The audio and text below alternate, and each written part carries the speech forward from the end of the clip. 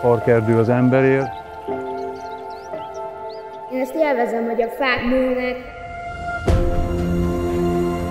Az embereket nem legyőzni, hanem meggyőzni kell.